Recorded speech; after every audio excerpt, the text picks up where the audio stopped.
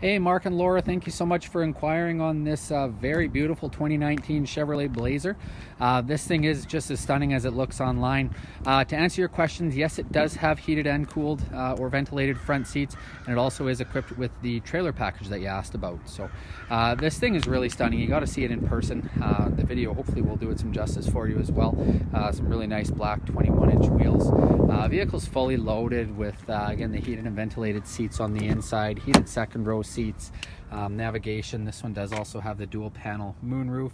Um, as you can see the detail in the stitching there as well with the beautiful red uh, uh, kind of perforations in there and some really unique styling cues taken from the Camaro uh, with the uh, uh, vent controls and everything. Uh, overall, really beautiful vehicle. You do have to uh, have to check it out. Please let me know if I can answer any more of your questions or if you uh, would like a video seeing anything else about the vehicle. again, we're here at Craig Dunn GM. My name is Travis McKim and I hope this video was very helpful to you. Thank you very much.